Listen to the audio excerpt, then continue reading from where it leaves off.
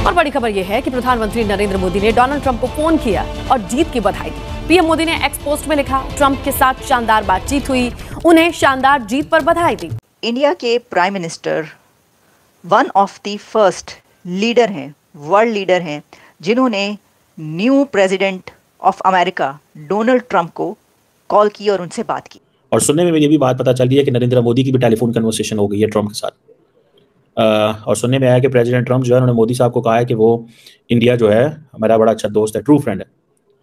और उन्होंने कहा कि मोदी साहब is one of the first world leaders जिससे मेरी उनसे बात पाकिस्तान में भी इसको कह रहे हैं कि लो जी ये मोदी यार हमारे लिए और मुश्किल वक्त आने वाला है। साहब भारत दुनिया की पांचवी बड़ी इकानमी है बड़ी तेज़ी से वो तीसरी इकानमी बनने की तरफ़ बढ़ रहे लीडर्स अप्रिशिएट वो कंग्रेचुलेशन कह रहे हैं ट्रंप को प्रेसिडेंट बनने पे। पाकिस्तान के प्राइम मिनिस्टर ने भी बोला कंग्रेचुलेशन बोला इंडिया के प्राइम मिनिस्टर ने भी बोला लेकिन इंडिया के प्राइम मिनिस्टर ने बोला कि माय फ्रेंड ट्रंप और उधर से भी रिप्लाई यही आता है मतलब वो भी एक इंटरव्यू में यही कहते हैं कि माय फ्रेंड मोदी ट्रंप ये और मोदी साहब जो हैं वो पर्सनल uh, लेवल पे रिलेशंस इस्टेब्लिश करते हैं। वो आपने देखा होगा जब मिलते हैं वर्ल्ड लीडर्स को तो वो उनसे बाकायदा तौर पे वो गले मिलते हैं। हम्म। और बड़ा एक पर्सनलाइज्ड लेवल पे जाके उनके साथ इंटरेक्ट करते हैं। और प्रेसिडेंट ट्रंप ने ये भी कहा है कि पूरी दुनिया नरेंद्र मोदी से प्यार करती है। और इंडिया जो है वो एक बड़ा मैग्निफिसेंट कंट्री है। मोदी एक मैग्निफिसेंट मैन है। ये एक टेलीफोनिक कन्वर्सेशन जो है वो हुई है। और इट मीन्स कि ये जो टेलीफोनिक कन्वर्सेशन है ये बेसिकली इंडियन हुकूमत ने रिलीज़ की है।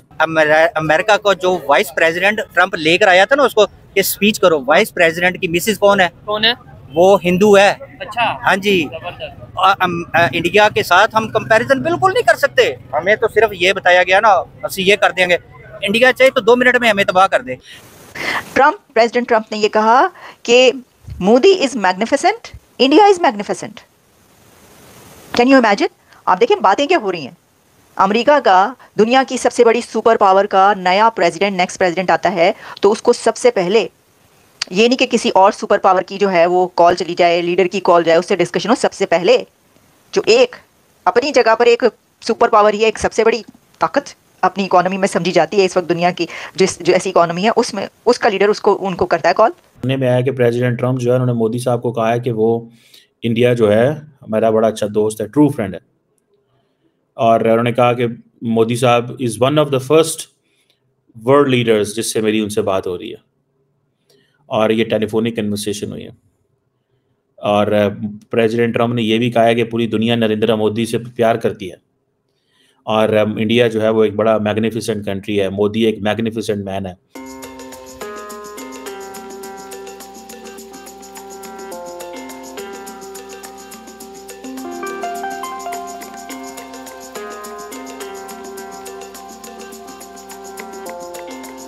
डोनाल्ड ट्रंप के बीच फ़ोन पर बातचीत। पीएम मोदी ने ट्रंप को फ़ोन कर जीत की बधाई दी।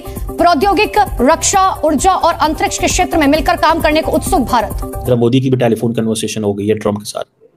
सो या तो नितनयाहू फ़ोन कर सकता है और या मोदी फ़ोन कर सकता है। और सुनने में आया कि प्रेसिडेंट ट्रंप जो है, उन्होंने मोदी साहब को कहा है कि वो इंडिया जो है, हमारा बड़ा अच्छा दोस्त है ट्रू फ्रेंड है।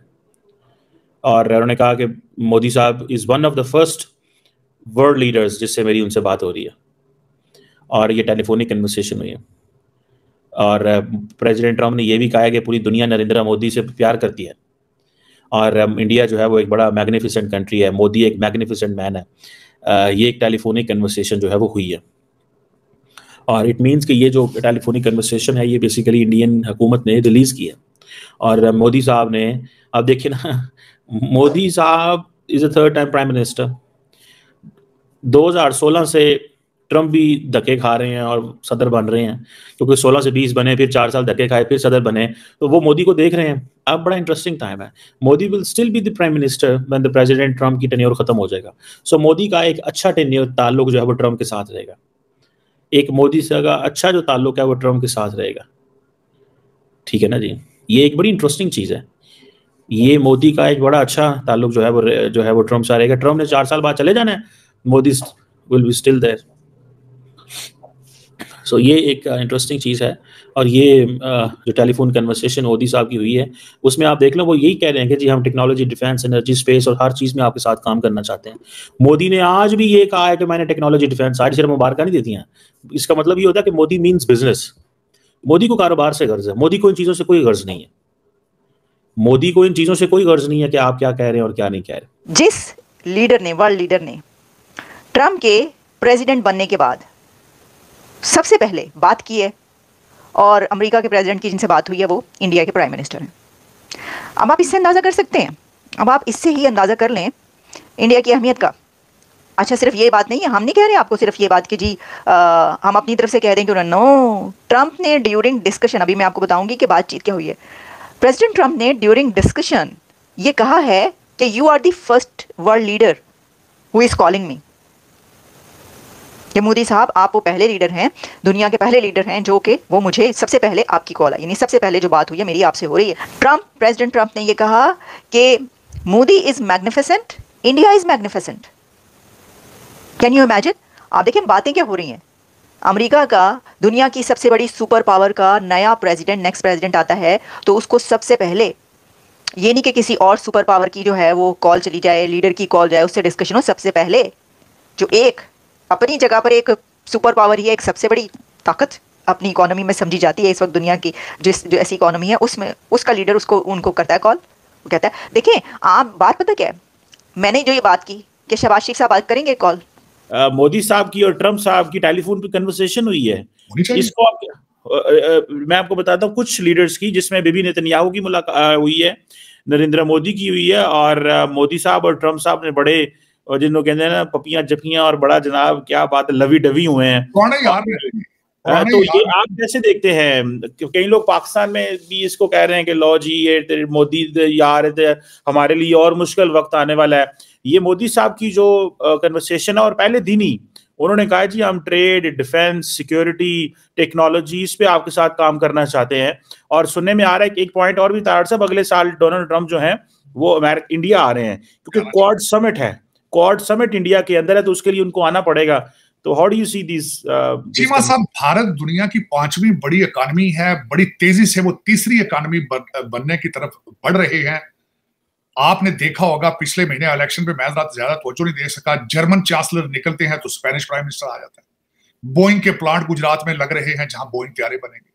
सेल फ़ोन आईफोन वहाँ बन रहे हैं गाड़ियाँ वहाँ बन रही हैं वहाँ ultimately India is the need of the world नहीं, कर सकते ना, यानी कर तो सकते हैं, लेकिन क्यों करेंगे? कैसे करेंगे? एक स्टेटस होता है ना, आपकी बातचीत होती है किसी के साथ। किसी के साथ आपकी बातचीत होती है, आपका मिलना जुलना रहा होता है, आप पहले मिले होते हैं, आपकी दोस्तियाँ होती हैं। भाई, देखे ना ट्रंप तो मोदी को ये कह रहा है कि whole world loves PM Modi Trump को वही बंदा, वही वर्ल्ड लीडर कॉल करेगा कि जिसको पता होगा कि जब मैं कॉल करूँगा तो मुझे ये सब बातें सुनने को मिलेंगी, मुझे ये कहा जाएगा, मेरे मुल्क की, मेरे कंट्री की और मेरी तारीफ़ की जाएगी और खुशी से मेरी कॉल एक्सेप्ट की जाएगी।